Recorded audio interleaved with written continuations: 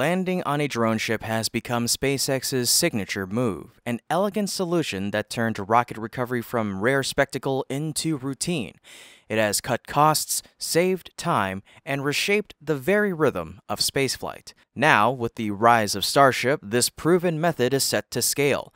Official plans from SpaceX and the FAA already point to a future where Starship too descends on ocean platforms, carrying the dream of full reusability even further.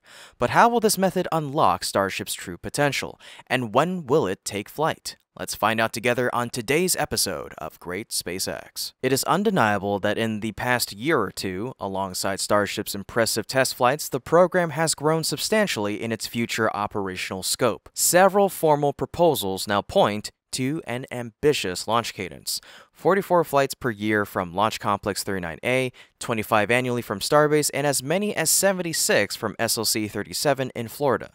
These numbers signal more than just routine launches, they reflect a broader vision for a higher frequency, global space spaceflight system powered by rapid reusability. Achieving this scale of activity will require more than fast turnarounds and robust production lines. The logistics of recovery and landing must be just as refined, especially given that Starship is designed to be fully reusable from the start. Mechazilla arms are expected to be the cornerstone of this recovery strategy at fixed facilities.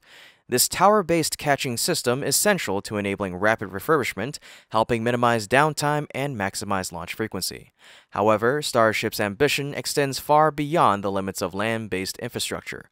According to official documents from the FAA, SpaceX is preparing for Starship to land in distant regions such as the Pacific and Indian Oceans.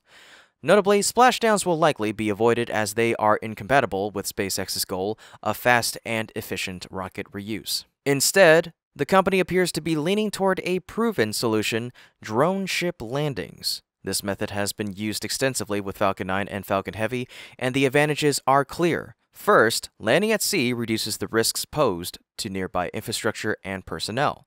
The ocean acts as a natural buffer for heat, force, and vibration, and in the event of a failure, it offers a far safer outcome than a land based accident. Even during successful landings, the water helps mitigate the stress of impact, preserving the rocket's structure and reducing repair costs. Second, drone ships offer unparalleled flexibility. They can be positioned almost anywhere along a launch trajectory, allowing for optimized return paths and shorter distances between mission destinations and landing zones. This helps simplify guidance, reduces the energy needed to return to a specific point, and ultimately increases the payload Starship can carry. In effect, Starship can carry more and go farther when it does not have to reserve large amounts of fuel for a return to a fixed launch site. These operational efficiencies have already been validated through years of Falcon 9 launches. Scaling this success to Starship, which is significantly larger and more capable, could magnify those benefits even further. Some might even wonder whether introducing drone ship landings could complicate operations at Mechazilla Towers, but in truth, the two methods are complementary. Mechazilla offers high-speed turnaround at fixed bases, while drone ships allow for long-distance missions, return flexibility, and added safety. Each method enhances the other rather than competes with it. Of course, challenges remain. One of the most pressing issues is international cooperation. Although drone ships can operate in international waters, many recovery operations would require them to enter the exclusive economic zones or territorial waters of other nations. Without the necessary regulatory approvals or diplomatic agreements, recovery efforts could face legal roadblocks. Fortunately, SpaceX is already navigating this landscape. Falcon 9 has been permitted to land near the Bahamas, and recent reports suggest potential collaboration with Australia, which lies near a key landing zone in the Indian Ocean. Additional agreements with countries in South America may follow as Starship's recovery range grows. Another complication is the matter of recovery time. While drone ships can be positioned far from shore, bringing them back with a landed Starship on board could take days. This would naturally slow the refurbishment cycle compared to land-based recoveries. SpaceX may mitigate this with logistics optimizations and new handling procedures. One solution already described in FAA documents is called horizontal Starship delivery. After landing and safing, the Starship would be gently lowered from vertical to horizontal using a breakover fixture. This would simplify transport, reduce structural stress, and make the rocket less vulnerable to rough seas and high winds. There are also engineering questions about Starship's design. Mechazilla towers are not feasible on mobile drone ships, meaning Starship would likely need some form of deployable landing legs for these missions. While this might complicate the design, it could also prove advantageous. For missions to the moon or Mars, landing legs will be necessary, especially in early exploration phases where ground infrastructure is limited. By developing this system now for drone ship landings, SpaceX can refine a capability that will be crucial for planetary missions in the future. As the roadmap for Starship becomes increasingly global, flexible and high frequency drone ship landings seem poised to play a vital role. They offer operational benefits that fixed tower systems cannot, especially for long distance or high energy missions. And while the transition will come with challenges, it also opens the door for broader international cooperation and technical innovation. So, should SpaceX pursue drone ship landings for Starship? Let us know your thoughts in the comment section down below. And if you want to keep following the incredible journey of Starship as it reshapes the future of spaceflight, make sure to like this video and subscribe to our channel. So, when can we expect to see this system in action? Based on all current indicators, the Starship drone ship recovery system is likely being prepared for operations beginning in the second half of next year. The proposals we've seen, such as multiple drone ship landings in the Pacific and Indian Oceans, are all clearly aligned with SpaceX's plans to, to scale Starship operations in 2026 and beyond. As of now, rapid launch cadence at Starbase still faces hurdles, especially in light of the recent S 36 incident. Florida's Starship infrastructure is progressing but remains under construction. Therefore, before we see Starship landing at sea, SpaceX will likely continue focusing on perfecting Mechazilla based landings at fixed launch sites. These arm catches offer more control and enable rapid refurbishment, which is ideal for building experience and consistency. But once those systems are stable and enough data has been collected from controlled tower launches, the drone ship platform will begin to take on a larger role. That will mark the next big step toward expanding Starship's reach and establishing recovery systems that go far beyond the coastlines. Of course, SpaceX will also need to physically build these next generation drone ships. Unlike those used for Falcon 9, the drone ships for Starship must be significantly larger and structurally reinforced. Starship itself is more than twice the height and several times the mass of Falcon 9, and its Raptor engines deliver immense thrust. All of this requires a recovery vessel that is robust, stable, and possibly capable of supporting multiple recoveries between returns to port. Beyond the drone ship itself, the broader Starship ecosystem will need to scale as well. We're already seeing signs of that expansion. At Starbase, Pad B is taking shape. Massey, after the explosion earlier this year, is being upgraded and expanded. Over in Florida, the LC-39A launch complex is adopting many of the same Mechazilla-style systems from Starbase, and LC-37 is expected to host a massive new platform in the near future.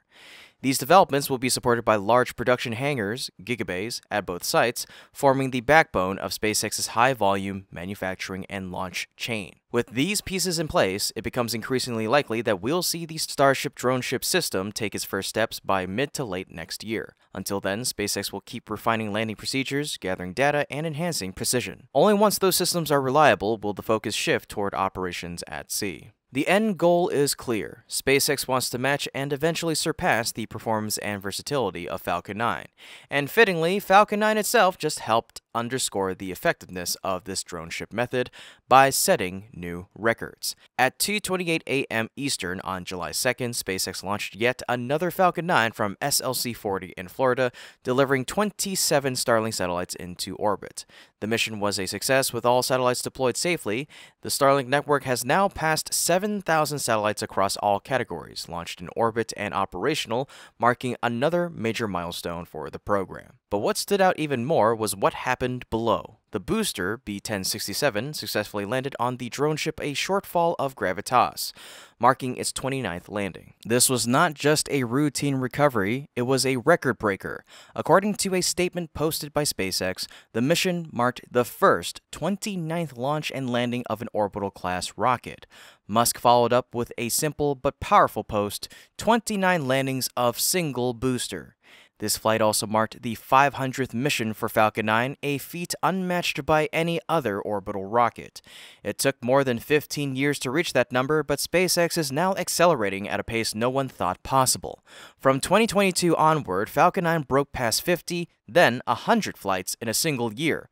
For 2025, the company is on track to exceed 170 launches.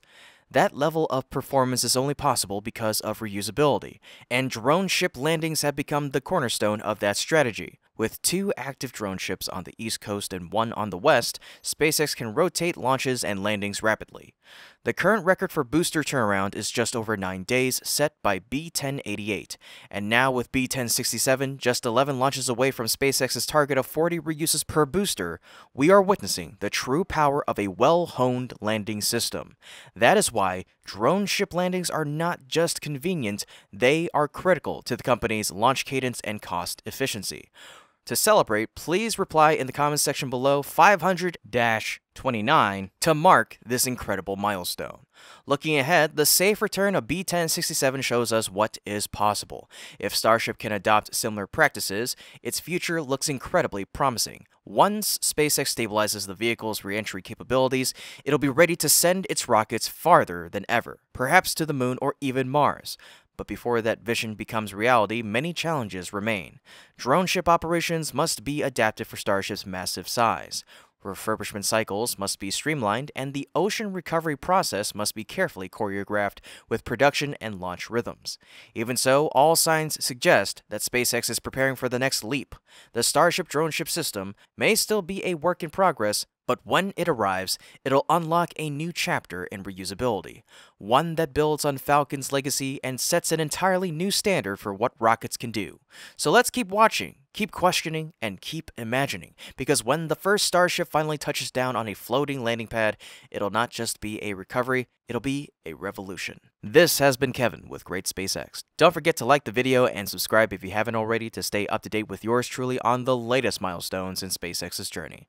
Thank you so much for watching, and always remember, curiosity, imagination, and inspiration will follow you so long as you keep looking up.